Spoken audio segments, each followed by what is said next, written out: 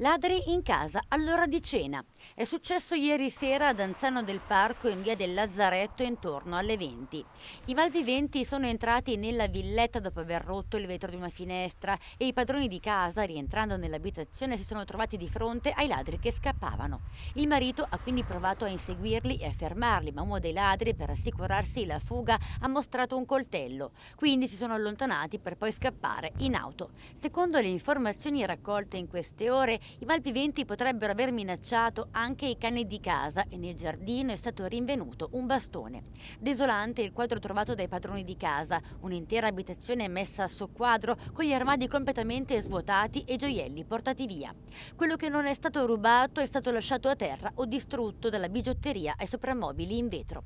Sull'episodio indagano i carabinieri della compagnia di Cantù. Nelle stesse ore, sempre in Brianza, un altro episodio di cronaca. Questa volta a Brenna dove i carabinieri della tenenza di Mariano Comensi hanno arrestato per rapina impropria un 46enne del paese accusato di aver minacciato la madre per appropriarsi dell'auto della donna.